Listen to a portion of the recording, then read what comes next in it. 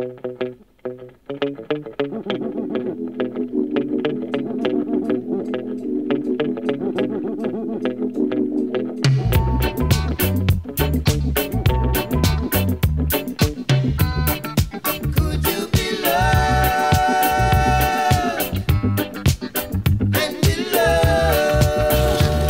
felicità nel mio lavoro. Mi viene chiesto questo e effettivamente è, è un, un, concetto soprattutto secondo me molto anche eh, di contatto con la natura. Se vi guardate un po' attorno, fortunatamente eh, questo luogo fa venire voglia di venire al lavoro secondo me.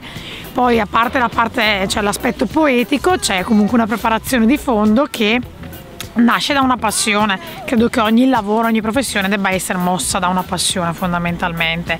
Grazie a questa uno decide di diventare competente in quello che vuole poi fare in un futuro, nonostante le oggettive difficoltà.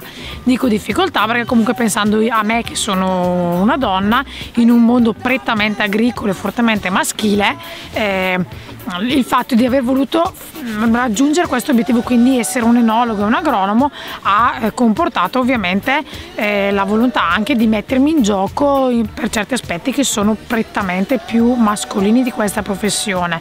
Ma non è un limite questo, credo che sia un po' la sfida in certi settori, in un settore come nel mio, di poter cogliere la bellezza anche della sfida.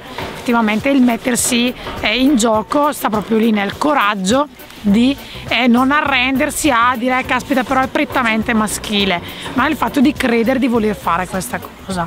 Eh, faccio volentieri il mio lavoro sempre, sono eh, appassionata di quello che faccio perché ogni anno è un anno a sé.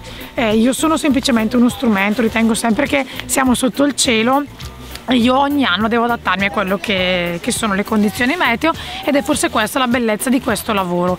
Il fatto di non essere poi così comandanti diciamo cioè di eh, dover accettare doversi adattare alle condizioni alla situazione alla maturazione a tanti piccoli aspetti che mi fa rendere conto di non avere poi sempre questa capacità decisionale ma di dovermi un po' più adattare. E forse è questo il bello che, che vivo la capacità anche di adattamento nel lavoro eh, che poi è sempre una scoperta il sapersi adattare perché non si sa cosa, cosa succede. Stay alive.